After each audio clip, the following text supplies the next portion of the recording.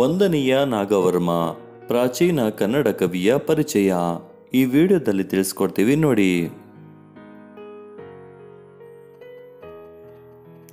Kannada GK mission ಚಾನಲ್ಗೆ ಸ್ವಾಗತ. ನಾಗವರ್ಮನು ವೆಂಗಿ ವಿಷಯದ ವೆಂಗಿಪಳು ಗ್ರಾಮದವನು.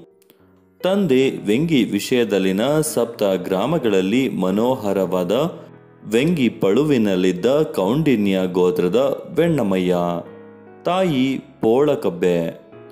ಚಂದ್ರನೆಂಬ ರಾಜನ ಆಸ್ಥಾನದಲ್ಲಿ ಈ ಕವಿ ಇದ್ದನು. ಈತನ ಕಾಲ ಹತ್ತನೆಯ ಶತಮಾನದ ಉತ್ತರ ಭಾಗ ಅಥವಾ ಹನ್ನೊಂದನೆಯ ಶತಮಾನದ ಪೂರ್ವ ಭಾಗ.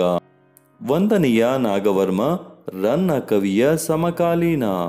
ಇವನ ಕೃತಿಗಳು ಕರ್ನಾಟ, ಕಾದಂಬರಿ ಮತ್ತು ಚಂದೋಂಬುದಿ. ಕರ್ನಾಟಕ ಕಾದಂಬರಿ. ಇದು ಒಂದು ಚಂಪೋಕಾವ್ಯ ಸಂಸ್ಕೃತದಲ್ಲಿ ಬಾಣಭಟ್ಟ ಹಾಗೂ ಆತನ ಮಗ ಭೂಷಣ ಭಟ್ಟರಿಂದ ರಚಿತವಾದ ಕಾದಂಬರಿಯನ್ನು ಆಧರಿಸಿ ಈ ಕರ್ನಾಟಕ ಕಾದಂಬರಿಯನ್ನು ರಚಿಸಿದನು.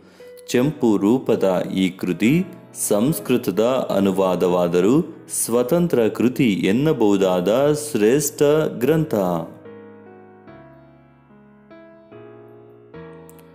ಚಂದೋಂಬುದಿ ಕನ್ನಡದ ಮೊದಲ ಛಂದಸ್ಸಿನ ಕೃತಿ ಎಂಬ ಹೆಗ್ಗಳಿಕೆ ಈ ಕೃತಿಯದು. ಕನ್ನಡ ಛಂದಸ್ಸನ್ನು ತಿಳಿಸುವ ಈ ಗ್ರಂಥವನ್ನು ಕ್ರಿಸ್ತ ಶಕ ಒಂಬೈನೂರ ತೊಂಬತ್ತರ ಸುಮಾರಿನಲ್ಲಿ ಬರೆದನು. ಇವನಿಗೆ ಕವಿರಾಜ ಹಂಸ ಬುಧಾಬ್ಜವನ ಕಳ ಹಂಸ ಕಂದ ಕಂದರ್ಪ ಇತ್ಯಾದಿ ಅನೇಕ ಬಿರುದುಗಳಿದ್ದವು.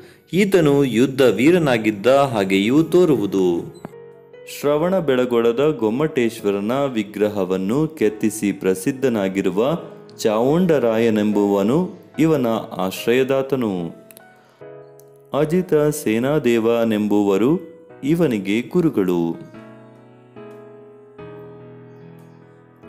ಈ ವಿಡಿಯೋ ನಿಮಗೆ ಇಷ್ಟವಾದರೆ ಲೈಕ್ ಮಾಡಿ, ಕಮೆಂಟ್ ಮಾಡಿ, ಶೇರ್ ಮಾಡಿ.